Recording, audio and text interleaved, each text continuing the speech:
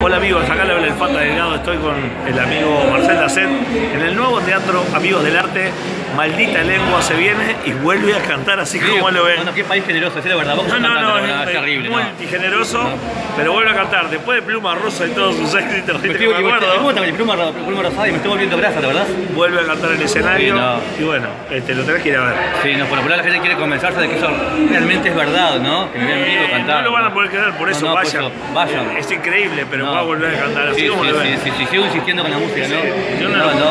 Mira, estoy, me estoy agarrando de algo porque me estoy por desmayar. tengo la paciencia de la araña yo, ¿no? Ay, me desmayé. Se desmayó, ay no. Vayan a verme, por favor. La verdad, Leonardo y Adrián, los compadezco porque la verdad que bancar a esto difícil. Son unos genios ustedes dos.